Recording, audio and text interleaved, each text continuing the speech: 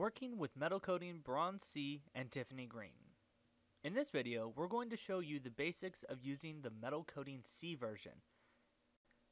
And if you haven't already taken a look at our Prime It and metal coating B version, now's a good opportunity to see where we left off. To start, we'll take the entire big portion of this metal coating C and dump it into a container. We'll get that mixed up real good, and then we'll start adding our catalyst and hardener. Although we're using the entire container, you can portion this out if you so choose. Just remember, if you use half of the big container, use half of the small containers. What we're using here is just a little adapter for the drill. We want to set it on a slow but steady pace and slowly add the catalyst and hardener. Once everything's added in, we can pick up the speed a little bit to ensure a good blend. As mentioned in other videos, we should strain this before using it. And here we'll show you why you need to strain. You can see all the little particulates that just couldn't quite fit through. Those won't fit through your gun either, so it's good to just get them out now.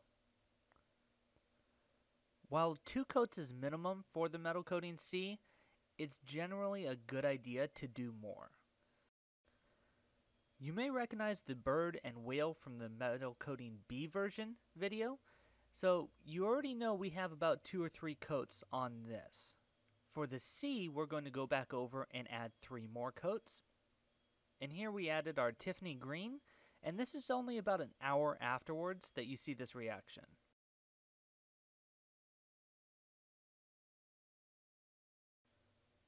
Remember to patina while the metal coating is still wet.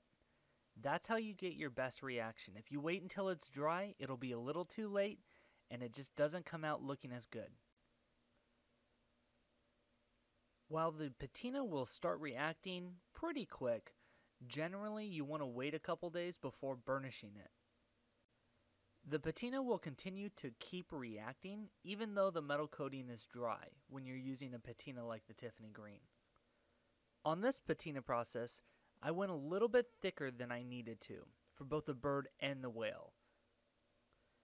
Because I went thicker on the patina, I know I'll probably have some runs later on once the patina is developed, but I plan on burnishing both these pieces pretty heavily, so the runs won't bother me much. If you don't plan on burnishing the metal coatings, you may want to go a little bit lighter on the patina to ensure that you don't get runs. To get the best burnishing possible, you can use 1-aught steel wool and move up into 4-aught steel wool.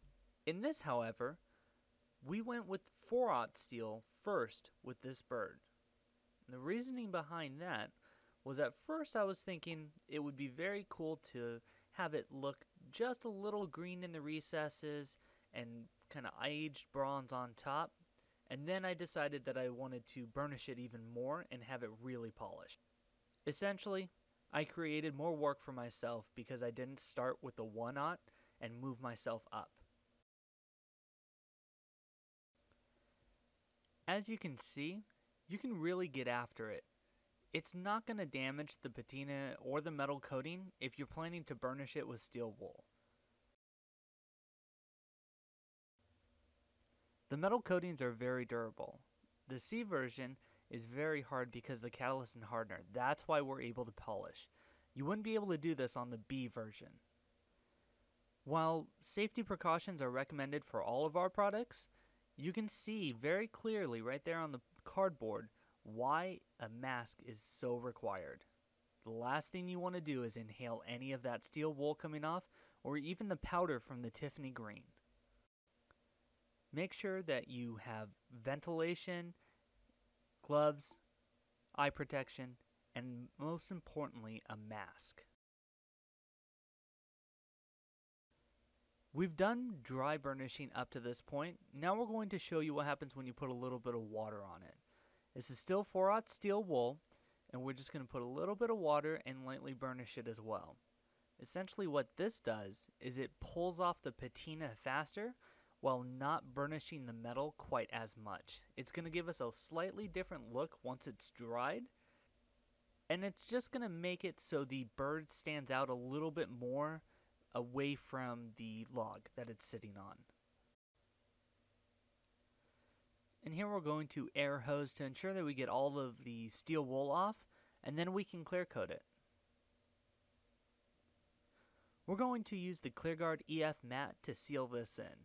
The nice thing about the EF version, that's the environmentally version, is that it keeps those greens as vibrant as possible. They'll darken immediately when you get them wet, but as soon as they dry out in about an hour, about 80% of it comes back and the remainder comes back over the next couple of days. This part of the video was sped up five times. For this whale, I went with 2-aught steel wool and then went in with 4-aught steel wool. The 2-aught will do most of the work as far as removing the patina and the base layer, but the 4-aught will polish that up right quick. I'm sure some of you are asking yourselves, why did he patina when he just pulled all of it off? Well, it's about subtleties. In the recesses, you'll find the green, but as an overall, there's a certain aged look that comes with adding that patina and burnishing it off. We could have just left it as the C version and polished that, but adding the patina adds a touch of realism. I've now switched to the 4-aught steel wool, and now you'll start seeing a big difference. Whereas with the 2-aught, yeah, it was polishing it, but now with 4-aught, we're really getting a nice shine on this pulling off some of that gray that's left behind, really doing some work now. And again, we're going to seal this in with the ClearGuard EF mat to ensure that we keep some of those greens in the recesses. And here we have our finished pieces. Our Bronze C metal coating, followed by Tiffany green, and then ClearGuard EF mat. Metal coating, Bronze C, Traditional Tiffany Green and ClearGuard EF Mat are all available at www.sculptnouveau.com.